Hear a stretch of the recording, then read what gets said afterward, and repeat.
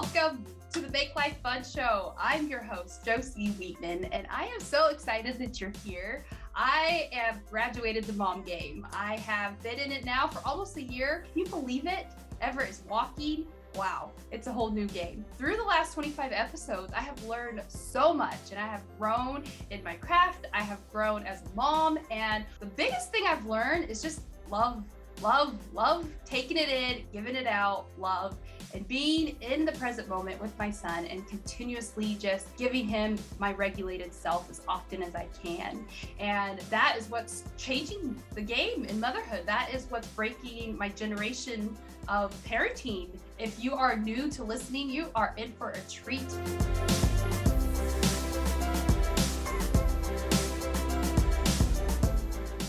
What if I told you that you could enjoy these benefits without the inconvenience or expense of changing your current skincare routine, but by just adding something wonderful and affordable to it? Skin that looks and feels more even, firmer, hydrated, radiant, smoother, with smaller pores. Well, Rejala Hydrating Serum is that something wonderful that I'm speaking of. It's perfect for busy moms at any stage of motherhood, whether you're trying to conceive, currently pregnant, nursing, or prepping for an empty nest. Our serum is clean, beauty, fuss free add in you've been looking for. It's formulated to be non irritating for even the most sensitive skin. It's full of beautifying botanicals and features hyaluronic acid, niacinamide, and vitamin C the ultimate anti aging trifecta. It sinks right into your skin effortlessly between your current toner and moisturizer without feeling greasy or sticky. It's unscented and also free of toxic ingredients that could harm your health. Get it from Regila's Amazon shop today by clicking the link in the bio.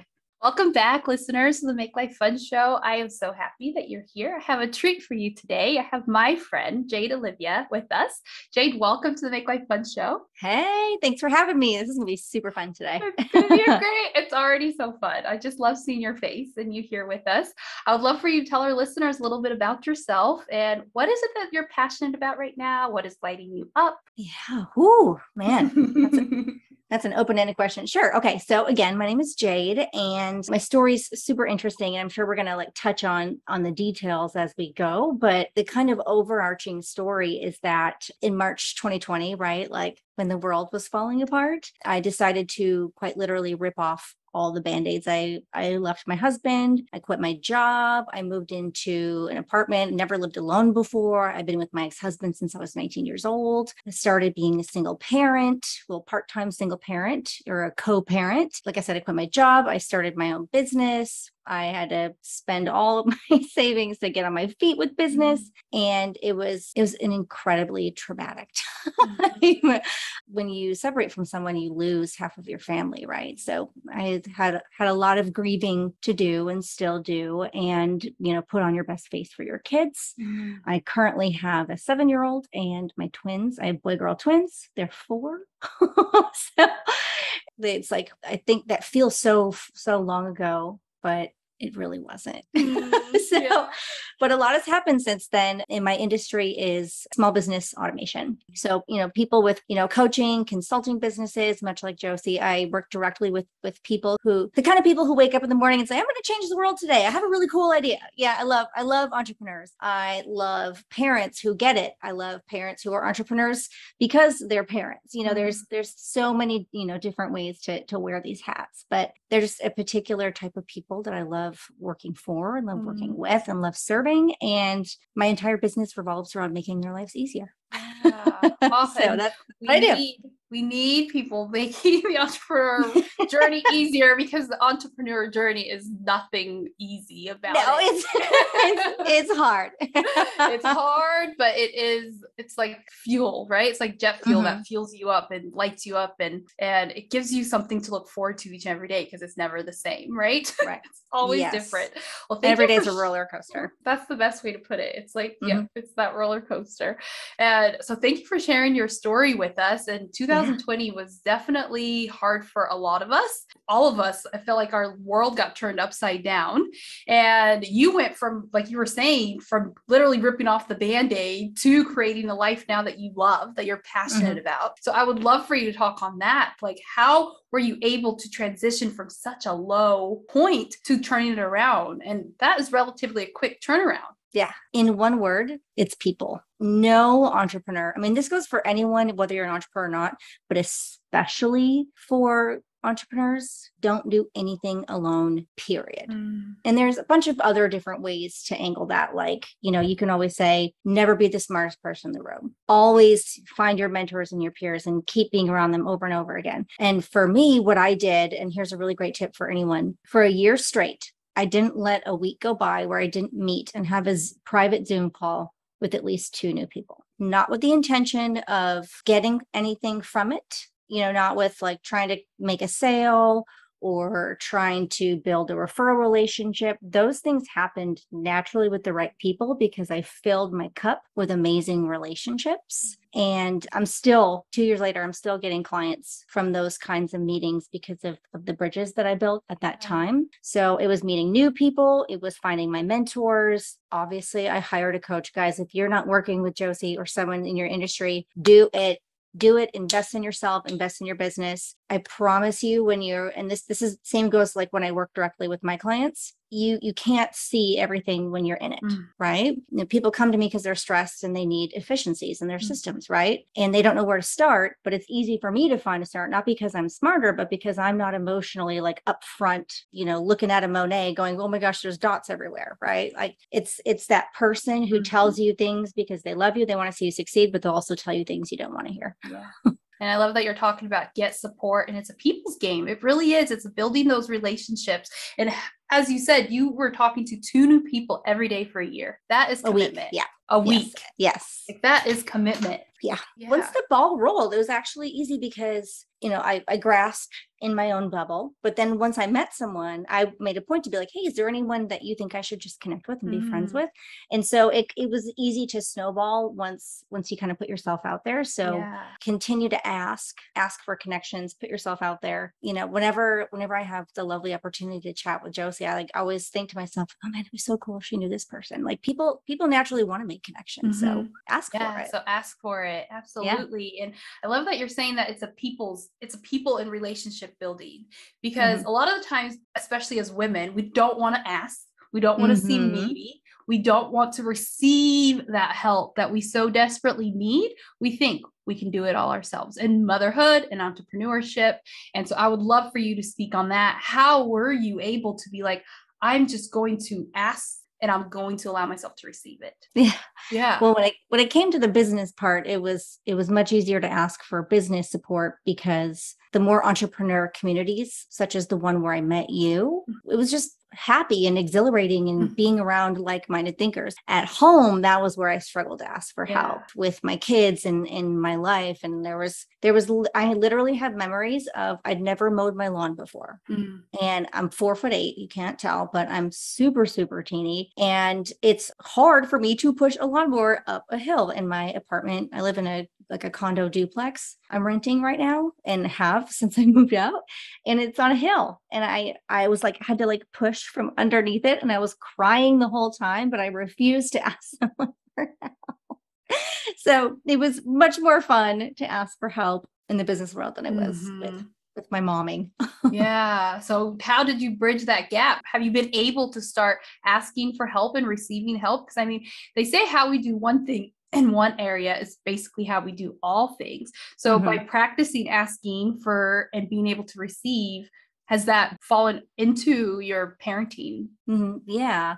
It's interesting because I, where my kids and I live, it's my ex husband's hometown. Mm-hmm. So he has family support. If he needs to do something, he can call his dad or a sister to watch the kids. And I'm like a transplant here. I didn't mm. grow up here. I have a couple friends, but not like anyone that I could ask like I could a family member. Yeah. So I don't have local support, I don't have local help. So instead of asking for help, I had to hack myself and my Mm-hmm. time. So my ex and I, he's a wonderful father. So I'm very Mhm. fortunate in that. And so we have the kids 50 50. Mhm. And so you would think there are some days where I'm completely alone. You would think that I could get stuff done, like, you know, clean my house, do my laundry. I don't.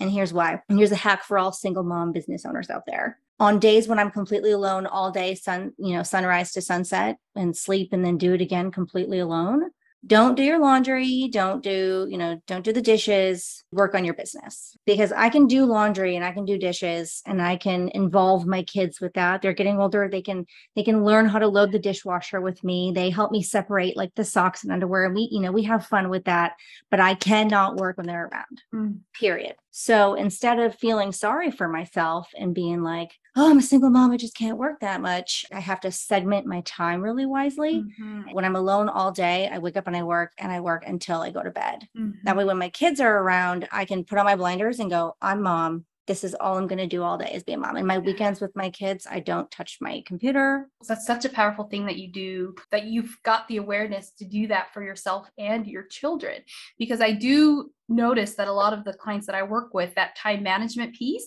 and giving themselves that permission Mhm. to have the time to just go all in on what they're passionate about what they're working on whether it is the side hustle or the full-time work and so Mhm. saying that making it a priority is basically what you're saying. It's Mhm. make it a priority. And if you're a single parent and you have that time to do it great. But if you're not then you almost have to like segment it as well like Mhm. time for your family time for your work and make it like non-negotiable yeah Exactly. Exactly. And that's the only way I survived because I wish I could have asked for help. Mhm. I don't have family nearby. I don't have a sitter I can depend on. And so maybe in some ways that made it easier to ask for Mm. help and make connections in business because I, I was unable to. yeah. at home. So I didn't ask for help. I made all the sacrifices so that I could only depend on myself yeah at home. And I didn't ask for it. So when it came to work, I was like, who wants to hang out with me today and teach me things? What can I do for you? What can we do for each other? And it all just kind of grows from there. Yeah, thank you for that tip because that's huge. And Mhm. if yeah, if you're listening to this and this is something that you're like, I want to try it, give it a week, right? Give it Yeah. two weeks, give it a Yeah. month and see how it works for you because it is so fun to make connections and meet new people. And I know that Yeah. not everybody is kind of outgoing in that way. I am. right? So that's why I say you can start slowly. You don't have to go all in and all out for the full year. Like just give yourself, just try it out, see how it Mhm. works for you. And so with business, like you went from working for somebody else to working for yourself, becoming an Mhm. entrepreneur yourself. I would Mhm. love to hear that journey and also that journey from your standpoint of doing it, like you said, as a single parent. Oh, it, it's it's spicy, guys. It's spicy. Unlike a lot of people, I did not have some like, oh, here's my side hustle or my passion. I'm going to turn it into a business that's going to be mm-hmm. fun. I had a, it was low paying and hard work, but I had a work family and good relationships. And, you know, without getting into the weeds, like wh- when my life blew up and I decided to, to leave my husband, like they made themselves the victims of that. And it turned into this really hostile work environment where they personally resented me and were treating me poorly because of decisions I was making in my personal life. and it was really Mhm. awful. And because of like my, my loyalty and kind of like putting my head down and not thinking that I deserved a lot more, I stayed there for much longer than I should have until like just one day my boss was so mean to me one day and I like literally was like I can't do this. Like I had like an epic you know throw the papers in the air you know fucking kind of quitting day and I did that and I remember driving home going what am I going to do?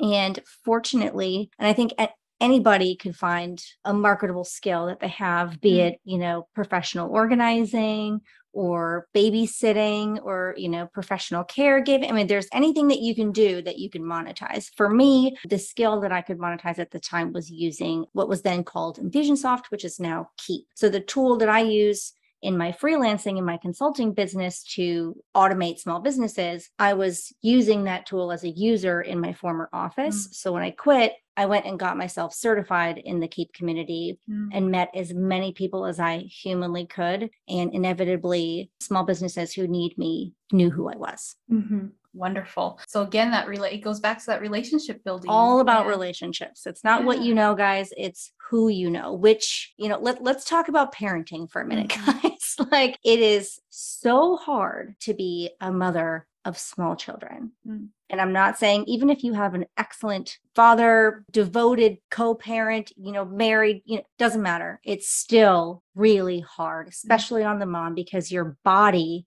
turns into like this vessel for someone else, particularly if you're breastfeeding, you know, like your your entire attention span is for someone else. Your entire mental energy is for someone else. Your entire, you know, and I was double breastfeeding. So I was, Mm. you know, burning like 5,000 calories a day with like a baby on each nipple and I was so tired I couldn't even like put, you know, add one and one at that Mm. point. And I wish like I love what you're doing right now, Jocey. I wish I had that like inspirational mindset at the time, but I was so unhappy. I was Mm. drowning in like, who am I? What am I going to do with my life? My marriage is unhappy. I love my kids, but I'm not like a human being anymore. I'm just like this like flabby set of tits that's just there to like serve everyone and be tired all day. And is I think now having gone through that, here's my advice to my advice to, to people, mother, any mother, whether you're an entrepreneur or not with, with small children is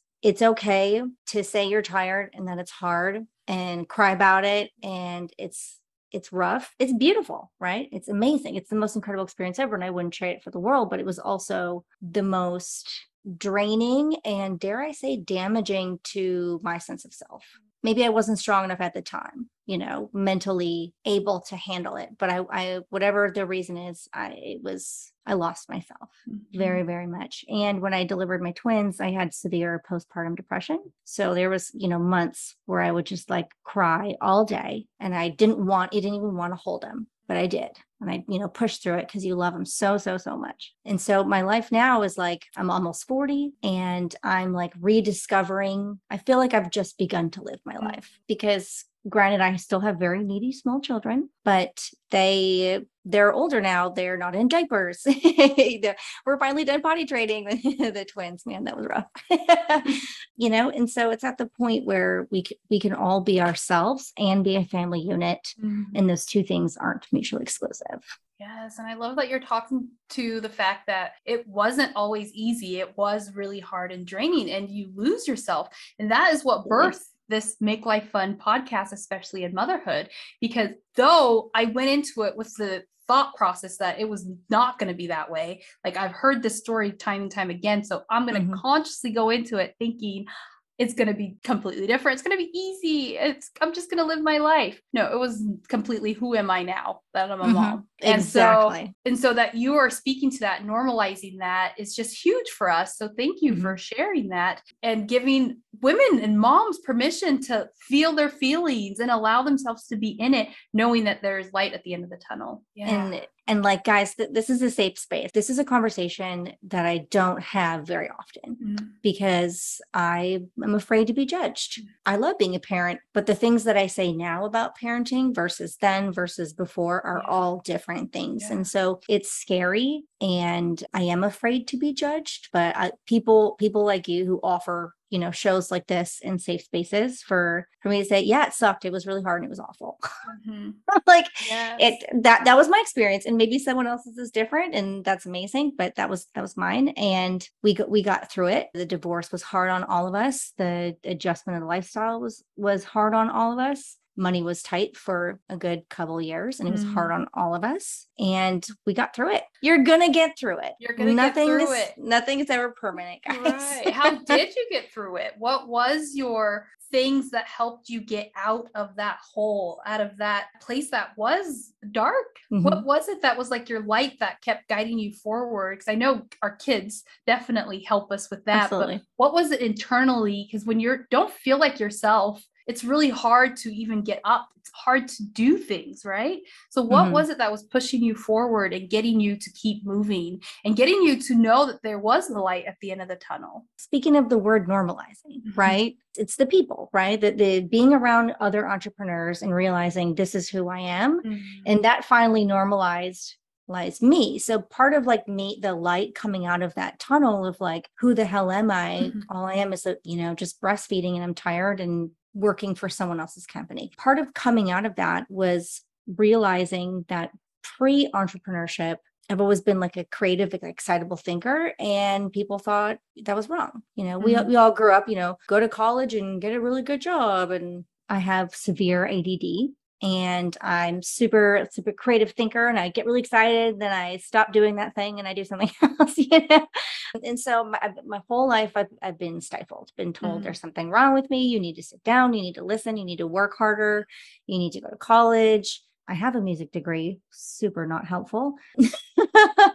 it turned my hobby into a chore. I finally found a place where I didn't feel broken. So the the inspiration of pushing along because entrepreneurship is hard, mm-hmm. y'all. Just like parenting, it's yeah. the best and the hardest thing you're ever going to do. You're baby, you're taking care of little kids and you're taking care of a business at the same time. It's it's really really hard, and you will fail so many times, and you will get up and start again, mm-hmm. and you'll fix it, and you'll try again, you'll try it again so so many times. But this time, as it is with parenting, but with entrepreneurship, this time, when you get up and you start over, you're doing it for you and you're not doing it to line someone else's mm. pockets. So, you know, the concept of like people asking you, you know, what's your why? And it's really easy you know you're like oh you know my kids and you know i want to want to be a good role model and take care of my family and have free time and you know financial freedom you know that's easy but keep going right ask it i've literally had conversations where someone was asking me that and i kept answering and they're like yeah but why and i started crying so i was like why isn't my answer good enough and I've been exp- trying to find my why for three years now, two and a half years. And I've been having like epiphanies. And my why is I strive, no matter how many times I fail, to have a business where I can serve people first and foremost, but serve people as myself. Mm. When I run my programs and people come on my meetings, I dance and I'm really weird and I change subjects like 14 times and I'm fully expressed and I swear and I cackle and I'm not, you know, wearing a uniform of someone else's business. So my goal is to have a huge impact, make the world a better place, you know, make, you know, help my kids, obviously, all of those, those are like the obvious ones. But the deeper meaning for me, like my why, why the hell am I doing this? No matter how hard it is, is because I get to be myself and I've felt broken my whole life. And I'm just going to keep going because I get to finally be me. Yes. And that is the ultimate. That is the ultimate when we can walk in our fullness and our power and claim it as this is who I am. Like you're saying, like no, no apologies. Like this is who I am. So, how did you get to that place where you said, I am no longer broken? I am standing in my power. I am Olivia or yeah. Olivia, I am who I am and take it or leave it. Ooh, that's such a good question. And the, the answer is really fun, you guys. When you first start out in business and you try all the things and I'm going to try this model and try this tool and I'm going to try this and you know everything kind of fails and you kind of re- rearrange the recipe and keep trying, right? I realized that the more I acted like myself, the more money I made. Mm. The more I dug into what I'm really good at instead of what I think I should be doing, that's when people were more attracted to me and I was speaking from my truest voice and not copying someone else's sales page or posting the same way someone else posted that got them a million likes. And I promise you, I am the cobbler with no shoes, guys. I am a pro- professional digital marketer. I don't have a website. I don't have a standing lead magnet. I make stuff up as I go. Mm. I don't, I optimize everyone's business but mine because and how many of you guys out here who have ADD feel the same way? If everyone's doing it, I refuse to. Mm. so, so, I'm like, well, yeah, I'm going to do it this way instead. And does that always serve me? Oh, hell no. but, but as I like struggle to kind of put things together in my own weird way, when I find like a really good, like ding, you know, it just vibrates mm-hmm. really nicely. People are really, really attracted to that. And the more I lean into my quirkiness, the more money I make. Yes, and I love that so much. Like I just want to like do a Mhm, jump for right? that Yeah. because that is the same realization. That is the same revelation for me over the years is that Yeah. I get to be me and you get to come along for the ride, right? Mhm. And so, but it wasn't always that way because people Mhm. pleasing, that was it. You want Yeah. to make people happy. So you don't Yeah. say things that are going to step on people's toes. And so, did you Mhm. find that on your way to standing in your power that you had to overcome that people pleasing aspect? Or was it Mhm. always like, I'm just going to be me? No, no, no, no. the former, definitely. Because when I first started out, like like I said, it was a transition of force, not a Mhm. transition of choice. So I said yes to everybody and everything. I still have clients that I'm like randomly doing social media for, even though I hate social. like they just stayed with me the whole time, and then now I've subcontracted that out, so I still make money, but I don't have to do it. But yes. I said yes to everybody and everything. Mhm. And now, on one hand, right, you know, I, am talking about like be your unique self, which is basically another way of saying, you know, niche and and and dig deep into like very specific. But on the other side, it's not a bad thing to say yes to a lot of things because I didn't find out what I was good at until Mm. I said yes to all the things and tried all the things. And I had to go through that like, you know, one to two year growing pains of like, oh, I mean, I'm good at that, but I hate it. I'm bad at this, but I love it. And I had to find and kind of, you know, slapdash it together until I was like, okay, now, now I found my momentum. Yeah. So switching it back to you for a second, what's been really fun for me as like a, you know, a fellow entrepreneur and, you know, watching your journey from like pre-parenthood to post-parenthood, there's a lot of coaches out there, Mhm. right? There's a lot of mindset coaches. There's a lot of self-talk coaches. The more, and I've seen you go through this journey too. We've been going through it in tandem, let's say. Yeah. but like the more you use language and position yourself with like your own quirkiness Mhm. and like the things that make you uniquely you, it's clear that you're attracting the right kinds of people. You dig into your experience as a cosmetologist Mhm. and you dig into your experience as a parent and you dig into your experience of, you know, traumatic experiences. And those are three like random unrelated things Yeah. but put them under the coaching umbrella. There are people that need that. And if they look at you, if they're picking between you as a coach and someone else who doesn't have one of those three pillars, they're going to go with you. Right. And that's a beautiful way to paint the picture, right? Of bringing all our quirkiness. And as you're saying that, the th- thought that comes to my mind is I thought I had to put all those in a different box. I thought I had to be traumatic Jocey who went through an abusive childhood. I thought I had to put cosmetologist, beauty professional in one bucket, mm-hmm. traveling Jocey, living life to the fullest in another bucket. Like I literally thought all these buckets were different. But the Mhm. moment that I decided I get to be all of me and I get to bring Mhm. all of me to the table, it was like, this is it. Yeah. So that is the thing. When you do decide that you're going to step into your full power and claim who you are, you're like, I Mhm. get to bring all the buckets together. And you get Yeah. to use all of them in, like you're saying, you get to use all of them in what you're gifting the world and what you're offering the world. And Mhm. it just makes you feel whole. Like it Yeah. brings the fullness of who you are back to you. Did you have a similar experience? Absolutely. Absolutely. And what's what's really interesting about that experience of like finding, you know, your your uniqueness and leaning into it, I've also found at the same time and this is not intuitive that the more I just be myself but talk less, mm. that's also been hugely profitable because I think one of my unique things that I've transitioned from is that so I love attention and I love this is not uncomfortable for me in the least guys. Like I, I i'm more i'm more comfortable talking on a stage of like a bajillion people than i am in like a small room teaching because then i can see them staring at me right? Yeah i love big crowds and I love talking. And I used to like talk, talk, talk, talk. And old, like traumatized addict Jade used to, you know, like flirt for attention and drink too much and party hard and be like, look at me. And so, new Jade, the more I accept myself and like really like enjoy that and lean into it, the less I have to tell people Mm. and I can just act like my calm, accepting self. That's been a result of all of my bad experiences. At the end of the day, it makes me a more accepting and empathetic person. And so the the less I talk and the more I open my heart to people who need someone like me,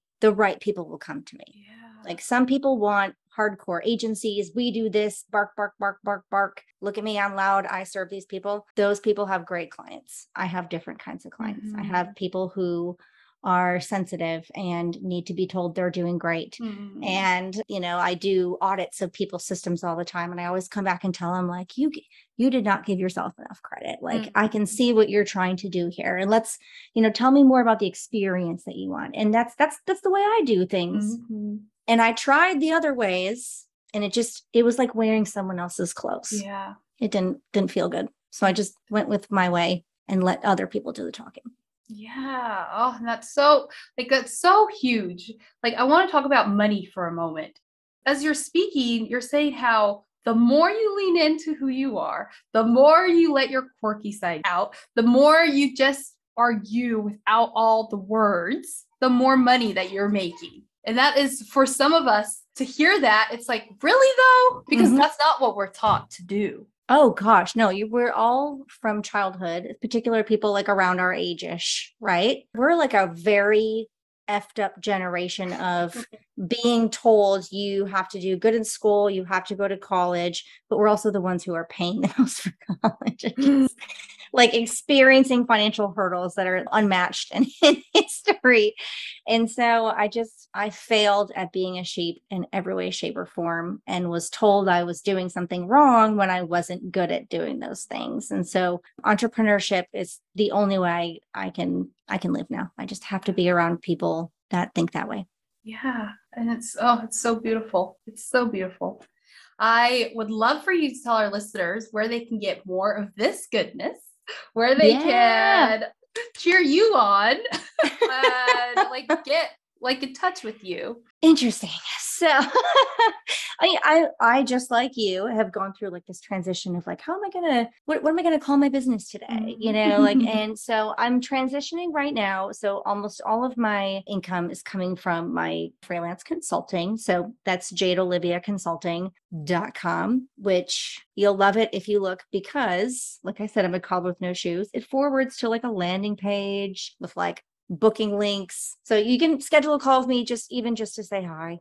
like there's information on there, but I don't have a real website. And my goal for the coming year, I started hosting a summit called the Timeless Marketing Summit. I plan to do it every six months. So I'm going to do them every January and July. So follow me on Instagram at jadeolivia.co. jadeolivia.co is my Instagram where I'm going to kind of talk more about the summit and why I do that, transition the brand into that. I would like that to be my parent brand. Like consulting is a product and the summit is a product. I'm feeling things out, being I honest. I love the honesty. I love the transparency. I love you. And I yes, honestly. And at this point of the show, I always just love to, after that conversation that we just had, I love to give you the floor to Mhm. speak on what is on your heart that you think these mompreneurs, these solo mompreneurs, Mhm. what is on your heart that feels like they might need to hear?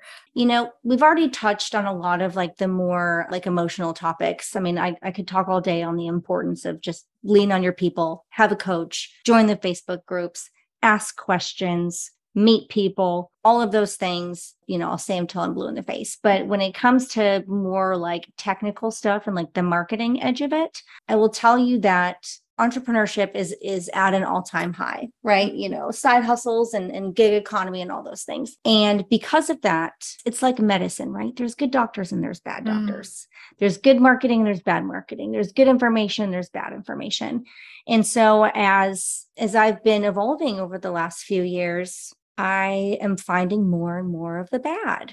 You know i grew up in the Keap community is very like uh, small and authentic and genuine. And so once i started kind of growing out of that bubble i'm like ooh Mm. i kept finding more and more like what i like to call bro marketing you know like all these guys who are like i'm going to solve all your problems just be like me. And here's just follow this 10 step guide to 10x your business. And i'm like stop dming me. You don't know anything about me.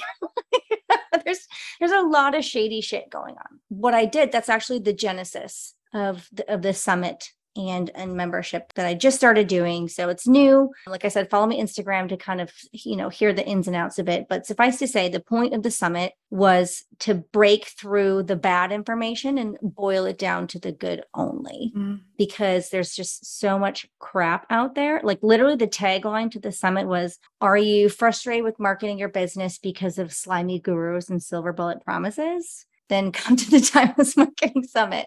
So, what I did with that was I picked five amazing teachers that were authentic, people who eat their own dog food. They're not just barking from a platform, people who are genuine leaders and genuine teachers.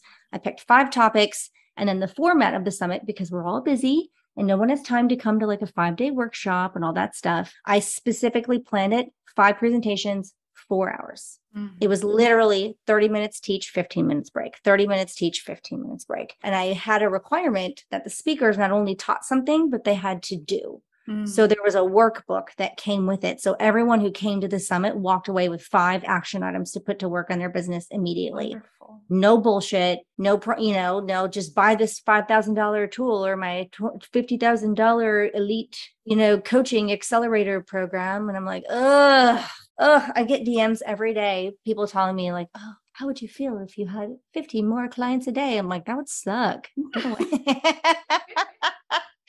so let me tell you how marketing works. Okay. If you Google, how do you start a business, right? You're going to see, first of all, you're going to see big ads from big dollars. You're going to see ads for like ClickFunnels and, you know, Russell Brunson and all these like men who have a ton of money who are going to say, just buy this and you'll be perfect. Or the other thing that's going to happen is you're going to find really good information, but because they're following best practices, you're going to have to opt in, give up your email address, and boom, you're going down their customer journey. Which at some point you're going to get an offer, mm-hmm. which is fine. Like that's what you're supposed to do. That's what I do. If you want information from me, I'm going to capture you.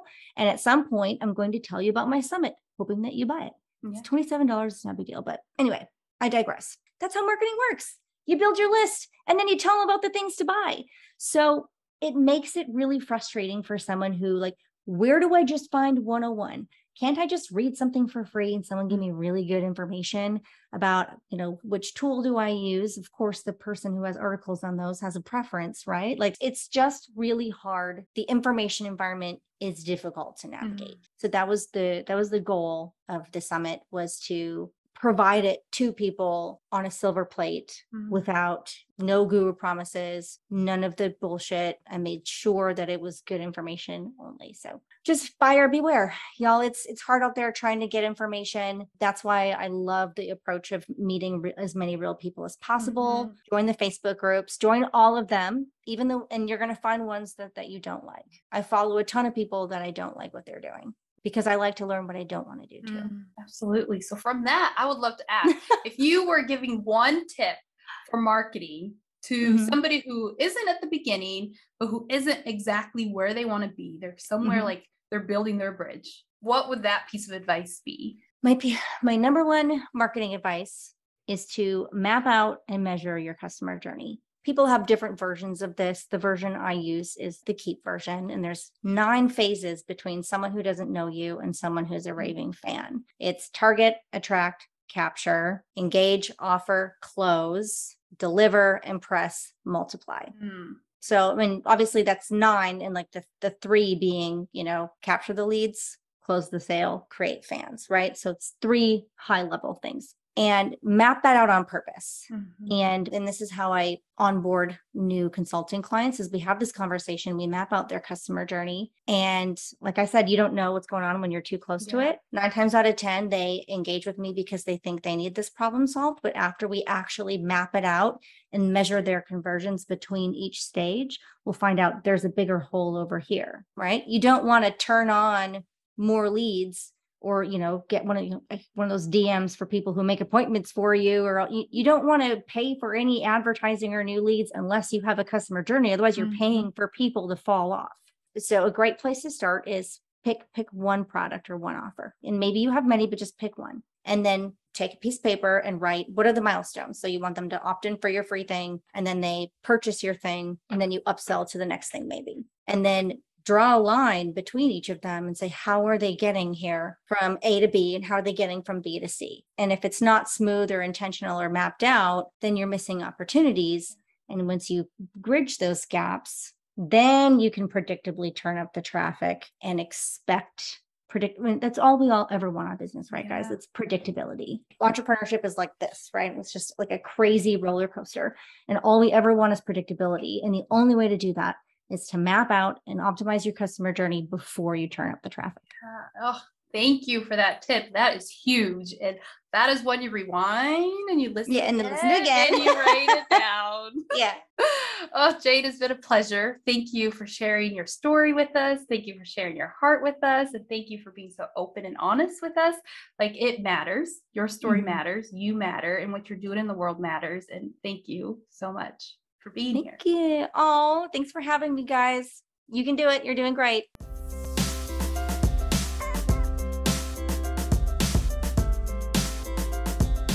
Thank you so much for listening to the Make Life Fun show. I hope you enjoyed yourself and got a little little gems, little pieces of gold that you are taking to heart, that you are not just listening, but you're going to do something about it. I want you to be fired up. So yes, so we come once a week, come back, listen to us here. We are an all podcasts places you listen.